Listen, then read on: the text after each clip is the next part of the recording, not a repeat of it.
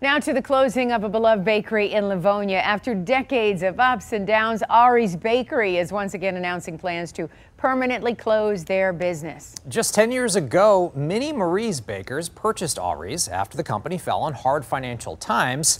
Now it seems history may be repeating itself. Tonight, 7 Action News reporter Sarah Michaels takes us to the beloved store front on Farmington Road after speaking with an inside source about what could be next for the company.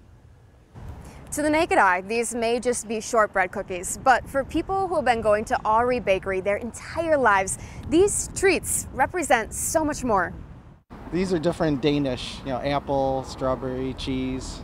Ken Mack grew up in Livonia and tells me his family has been going to Awrey's Bakery for close to 50 years. Memory lane and tradition and history. Uh, my mom used to come here all the time and get us wheat bread and Danish and all those types of things. He, like dozens of others Thursday, made the trip out to the 113 year old bakery after hearing news that they're permanently closing and needing one last taste of their variety of delectable sweets. What did you get today? A lemon sheet cake for the guys.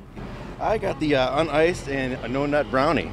A bakery spokesperson tells us production is set to stop here in September, and it's due to the sales of sweet goods declining and production costs growing. It'll be sad. They've been here a long time. It's hard to believe that there's, you know, not a financial way to make this work. But before you get too upset, it turns out that all hope is not lost. While on site today, I spoke to a company who told me that they are interested in buying the bakery in the next month.